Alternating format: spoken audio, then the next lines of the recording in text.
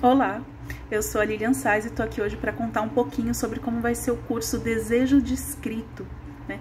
É uma oficina de poesia para pensar e escrever e descrever o desejo.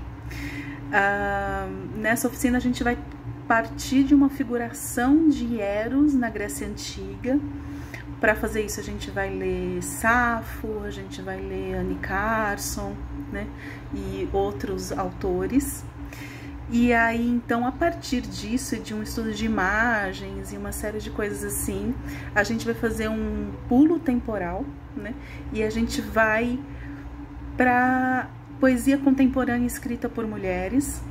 A gente vai ler Adília Lopes, a gente vai ler Ana Martins Marques e outras autoras uh, que trabalham na poesia o desejo. A partir do que a gente observar nesses textos críticos e literários, a gente vai ter exercícios de escrita uh, ah, para que ajudem a gente a descrever o desejo, né?